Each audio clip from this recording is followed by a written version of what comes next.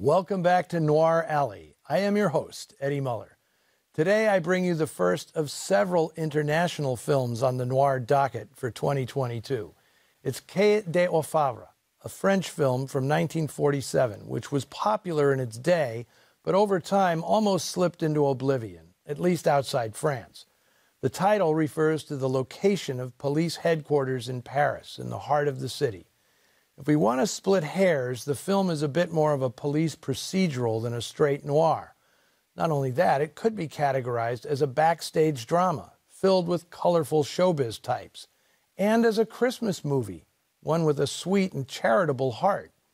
That it is a smooth and sure footed blend of all these elements is what makes Quai des Orfèvres such an exceptional movie.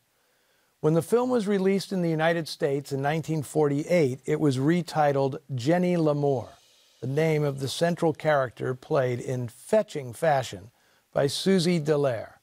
Jenny fulfills the function of the femme fatale so dear to noir fans, although it's debatable whether she's as shrewd and manipulative as the genre's garden variety vixen. Jenny is an ambitious and coquettish musical performer married to her composer accompanist Maurice, a droopy sad sack played by Bernard Blier. He is eternally jealous of the attention paid to his wife, and in true noir fashion, that jealousy sets his mind reeling. When Jenny accepts a date with a lecherous old geezer who promises to advance her career, Maurice expects the worst. And of course, something dreadful does happen. We're just not sure why or how. Enter Inspector Antoine, played by legendary French actor Louis Jouvet. In one of his most memorable film roles, he's a sort of continental Columbo.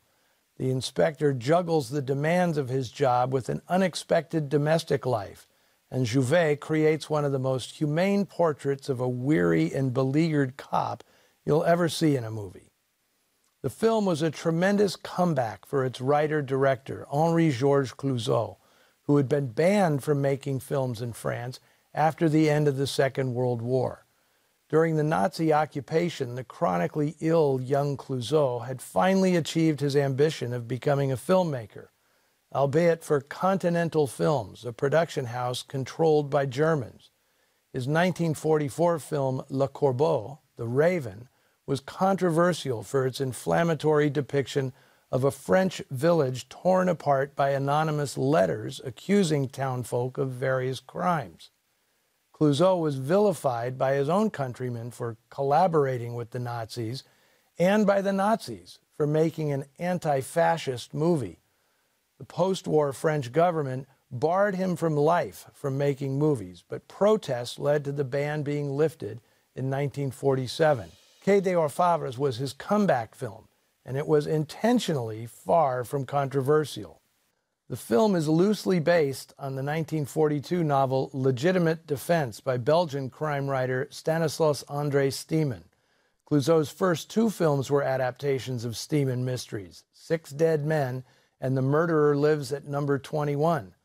But when Continental Films bought the rights to Steeman's Quai des Orfèvres, the novel was out of print and Clouzot and co writer Jean Ferry adapted it mostly from memory, resulting in many changes from the original, including the identity of the culprit.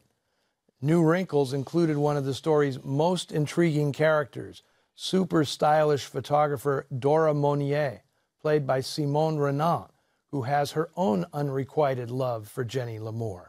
Dora's sexual orientation could only be coyly suggested in a Hollywood film of the same era. Here, it's treated as a matter of fact. I was tempted to say a simple matter of fact, but there's nothing simple about the characters in this film.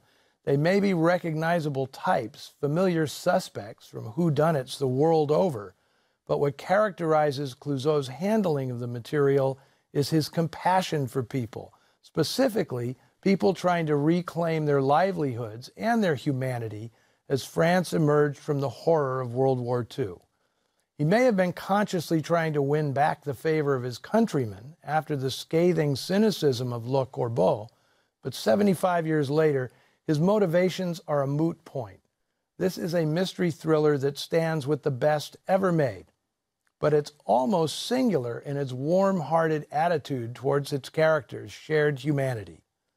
From 1947, scripted and directed by Henri Georges Clouzot and starring the delectable Suzy Delair, here is Jenny Lamour, aka Quai des Orfèvres.